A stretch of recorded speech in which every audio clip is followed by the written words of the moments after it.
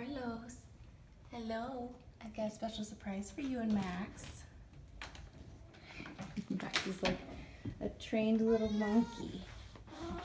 Hi. I don't have treats for you today, but I do have something else that's extra special. Yo. Are you a catnip kitty? Are you into catnip? Ooh. Oh, yes, he is. You, you, you can't seal it. He is strong. Okay, I'll give you a little pinch. Look, here. Boop, boop, boop. Okay, okay, okay, okay.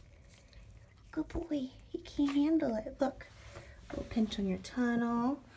Carlos gets a little pinch too. Oh my goodness. You can't even handle it. Carl's gonna start rolling.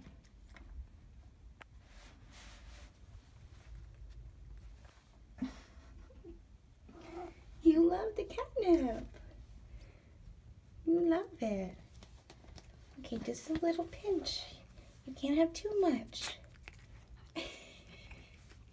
you are so silly. It's so cute. Now I've got him touching me. He doesn't even know he's kind of getting pet. Yeah. Carlos just enjoyed eating it. Max, you had so much. you don't need any more catnip. You don't. we gotta put that away, huh? So, Max and Carlos doing well. They just wanted to show you they're partying it up for the new year. And uh, they will see you next year. Sound good, boys? All right.